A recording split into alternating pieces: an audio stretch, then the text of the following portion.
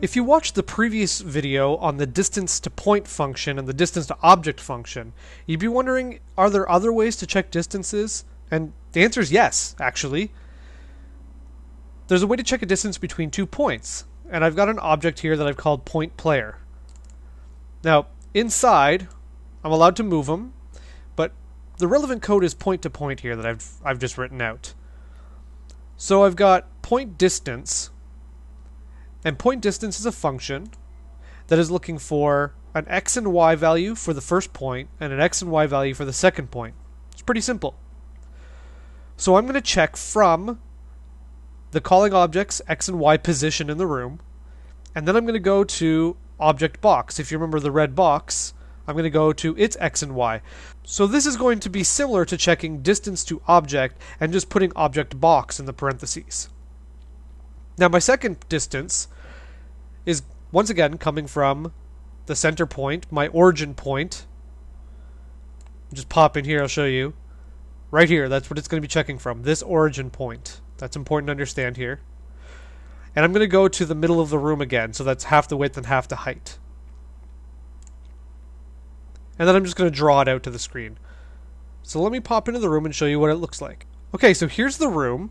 And as you can see, I have 0 as my distance to the center of the room, and the box distance is 160. So let's compare this to the last video, which was distance to point. If you remember, when I move the player, it still says that I have zero distance to the center of the room because that function checks for a collision. It checks whether or not the bounding box overlaps the point. This function checks point and point. So if I move ever so slightly, look at that. I'm still overlapping the center point of the room, but I'm actually getting a value returned to me. I'm 11.31 pixels away from the center. Look at that, I can be 4 pixels away. So that's more accurate, but it's not checking for a collision, technically. Now, if you remember when I checked for a collision between the two boxes using distance to object, it would always cycle between the nearest one. This one does not.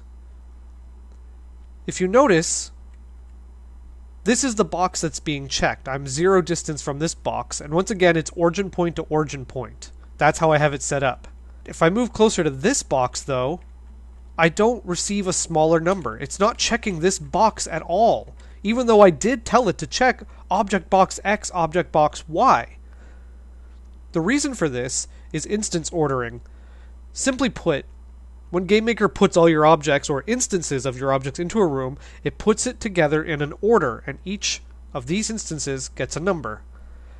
This is just looking for the box with the first value, which would be the lowest value. So this means this box was made first, and then this box was made. So when this player object is checking for the distance to a box, it just found the first one on the list and was like, oh, that must be what you're talking about.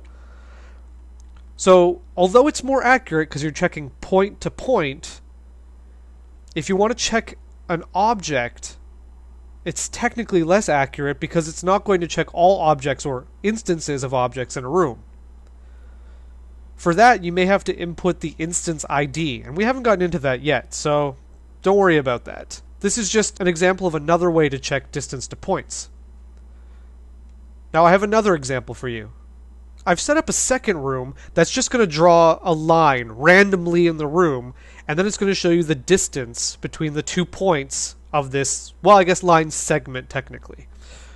So in my draw event, all I've got is I'm just drawing the line out from the first point's x and y position, that's point 1x, point 1y, to the second point, x and y. And then I'm going to color it. So it's going to go from white to lime green, just to give it kind of a little bit of a color to show you which one's the start point and which one's the end point. And then I've drawn some little circles around the end points so you know where the line segment starts and ends. Here's what this looks like. So here we go. Now as you can see, white is where the line segment starts, green's where it ends, and there we go. This is the distance in pixels, 395.99 pixels. And I've set up this room to be able to be restarted whenever I press R, and it'll just draw a new line randomly. See? So here we go. Look, the, the distance between this point and this point, 652.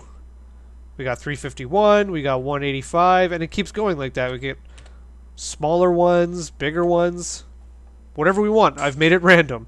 But the point is to show that if you want to check the distance between two points, you can use point underscore distance.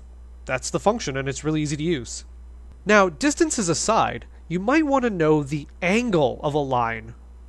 The angle of a line is called direction in GameMaker, and the zero degree of our angle, or direction, is the x axis of our room. And I'll show you what I mean.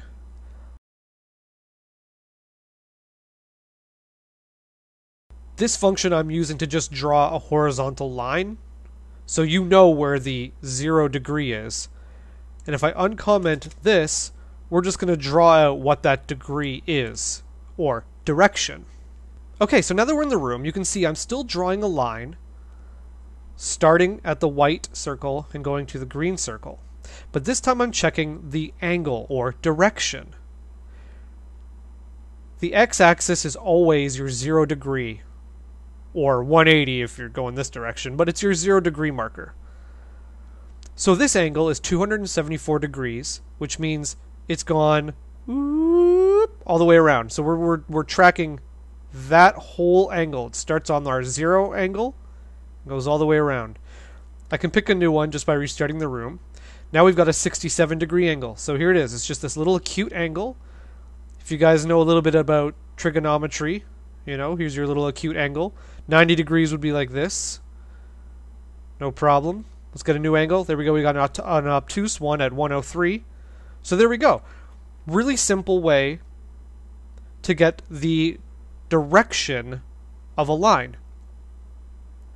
So you're saying, well, how, how is this useful? Well, I'm going to show you in some future videos, but let's say you're doing a top down shooter, because this is a really good example of it, or even a tower defense game, and you want this to be your little player, your little guy, and he wants to shoot around in a 360 degree arc. Well, you're going to need to know degrees, or at least GameMaker's going to need to know them, and you're going to have to call upon them with a function. And here's how you're going to do that. You can have your guy follow the mouse wherever it's going, and fire bullets at different directions, and, well, that direction's going to be based on this direction right here. This being 0, this being 33.86, this one is 346.12, and this one's 16, and so on and so forth. So now you know that GameMaker is capable of telling you the distance between two points, the distance between objects, the distance between an object and a point, and the degree of that line that's being drawn, even if it's an imaginary line. But of course, you're going to need some more stuff to put it all together to make some really cool games. The beauty of functions is putting functions on functions on functions.